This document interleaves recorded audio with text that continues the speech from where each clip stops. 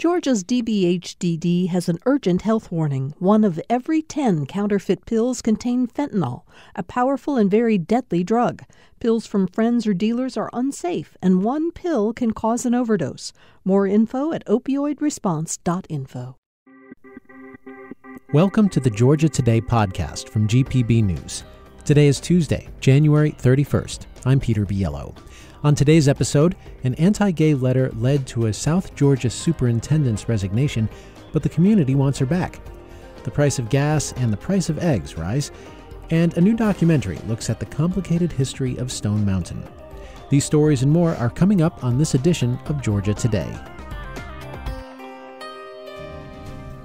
The leaders of Atlanta and DeKalb County have reached an agreement over the planned law enforcement training center that has sparked years of protests over green space policing, and other issues. Atlanta Mayor Andre Dickens this afternoon outlined the agreement, which he said will protect and enhance the surrounding environment and spur local business and job development. In this sound from 11 Alive. And we're here taking the recommendations to add a 100 foot uh, tree buffer, the recommendations to add sidewalks, the recommendations to have the um, firing range move further uh, away from the residential area. The agreement clears the way for construction permits. Protests over the facility led to a confrontation that killed a protester and injured a state trooper two weeks ago. We'll have more on this story tomorrow on the podcast. Georgia LGBTQ advocates are applauding the show of support for a South Georgia school administrator who resigned after someone circulated an anti gay note about her to local pastors. Beth McIntyre is a blueberry farmer in the area she says she has known Ben Hill County Interim School Superintendent Dawn Clements since Clements was a child.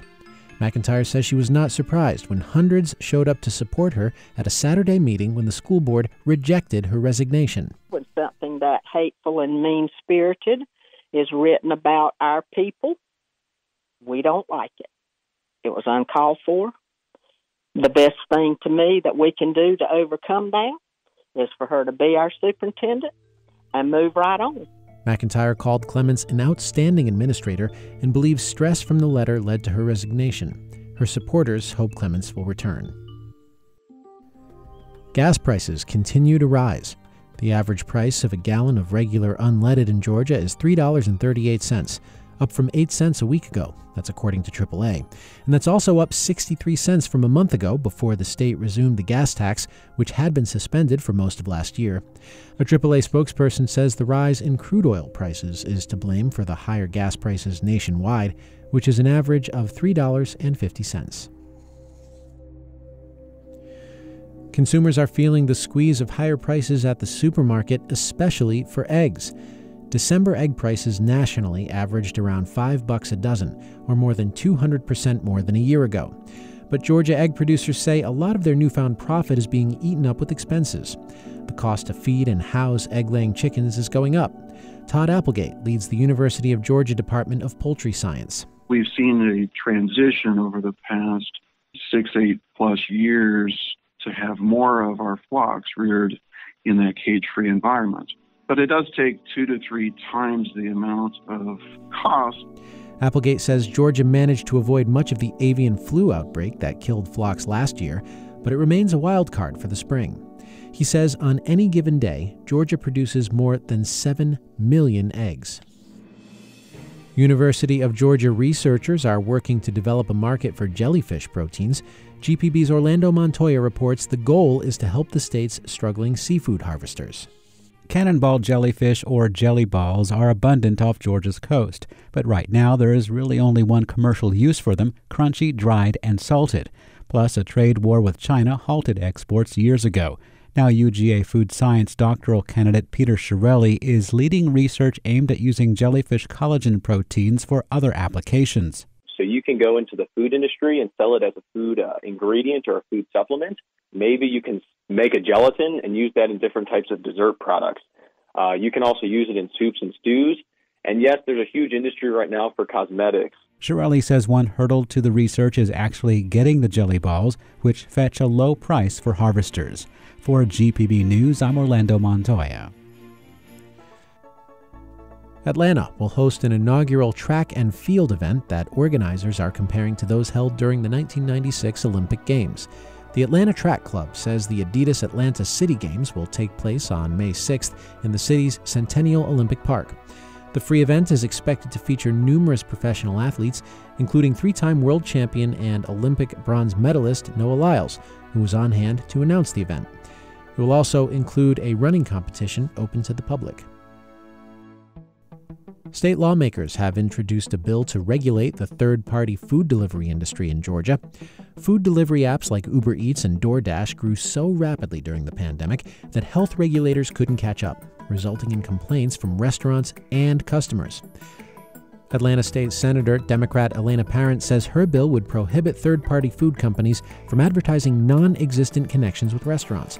It also would require vehicles to be clean, no smoking or vaping would be allowed inside delivery vehicles, and pets that aren't service animals would be prohibited. Food containers delivered by a third party would have to be closed, sealed, and tamper resistant, and thermal containers would need to keep food at the proper temperature. Her bill has several co sponsors from both major parties. Stone Mountain is home to the largest Confederate monument in the world. It features carvings of three prominent leaders of the Confederacy. To some, it's a monument to Southern heritage but to others, it's a painful reminder of the South's effort to hold on to slavery and the oppression of black Americans. A new documentary from the Atlanta History Center highlights both views, but with an emphasis on remembering Stone Mountain's difficult past and present. It's called Monument The Untold Story of Stone Mountain. Christian Weatherspoon is Vice President of Digital Storytelling at the Atlanta History Center, and she's with me now. Thanks, Peter, for having me. Great to be here. What did you think was missing from the stories that have been told about Stone Mountain over the years? I mean, yeah, I mean, a, a, bit of context, you know, about myself. I am a Southerner, born and raised Mississippian. As a Southerner, I really thought that the voices of Southern people was really missing in the conversation. I mean, obviously, this is a, a hot button issue at a national level um, that has been happening for a while. And so, kind of from the, the coverage and just the exploration that I'd seen, I thought like, wow, like this issue is it's certainly an issue, but it's something that really plays a little bit differently in the South, in place in this place, like where you grow up with it.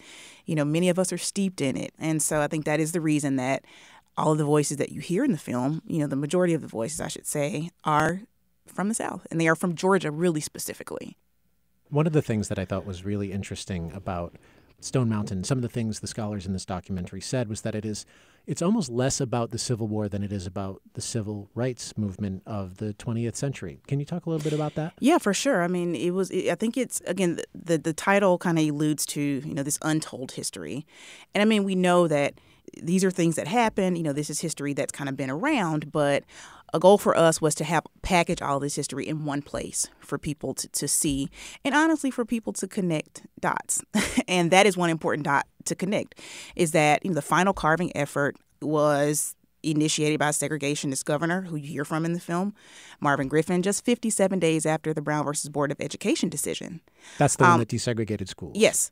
And so that is that in itself is just really telling to you know to be completely honest and so again you know the film really was again about making those um, helping to create those aha moments and so yeah that is you know one thing and, and then also the fact that the carving was not finished until 1972 which is fairly recent i think many people think that you know this was some ancient you know some some ancient artifact or something that was done in the early, you know, 19 teens. Yeah, it was started then, but the completion of it wasn't until 1972. You know, the film shows footage of you know footage of that. Mm-hmm.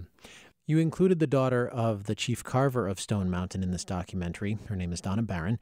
She says the work of her father, Roy Faulkner, is meant to honor those that fought for the Confederacy, and it's meant to honor her father's work as well, what she calls a masterpiece. Here's what she said Sure, there's good, bad, and ugly in every story. We just need to continue to focus on the good and not the bad. So that was countered by many people in the film who find that view abhorrent. Can you talk a little bit about Donna Barron's views and why you decided to include her? You know, we met Donna through a, a connection within the History Center, and um, you know that that is that is her life's work at this point is sharing what she sees as her father's legacy. You know, one thing we realized that Donna's point of view is representative of so many people in Georgia. and so for that reason, obviously, it was it was really important that that, that be included. And um, however you may feel about it, you know, we think that it's important to be able to have these conversations uh, you know for you know people who may see things differently who may be on opposite sides of this issue but the ability to be able to sit down and have you know civil conversation um, is is a, one of the only ways the Atlanta History Center sees is, is kind of moving forward mm-hmm. This new documentary on Stone Mountain is part of a larger effort as, uh, from the Atlanta History Center. Can you tell me about that larger effort? Yes, this this documentary is is part of a larger effort that we are calling Atlanta History Center Originals, and it is meant to house digital media content videos, films, um, podcasting, blog content that will really specifically focus on undertold stories. Can you give us a preview? What's what's the next subject? Yeah, one of the next subjects that we are exploring right now is the the 1912 lynching in Forsyth County and the expulsion of the black residents in the county. And so we'll be exploring um, kind of the forced expulsion and where did where did those people go and, and telling that story through the voices of the descendants of those who were expelled. Wow, that sounds fascinating. Well, Christian Weatherspoon, thank you so mm-hmm. much for speaking with me about this. Absolutely. Christian Weatherspoon is Vice President of Digital Storytelling at the Atlanta History Center. The center's new documentary on the history of Stone Mountain is now available to view at its website, and you can find a link at gpb.org. That is it for today's edition of Georgia Today. Did we miss something? If there is a story that you really wish we would cover, well, we are a public media organization and we rely on a robust dialogue with the public to let us know what's going on, and that is you. So send us an email with your tips, your feedback. We would even take your recipes that are good enough to make us forget about the price of eggs. Email us at georgiatoday at gpb.org. I'm Peter Biello. Thank you so much for listening. We'll be back with you tomorrow.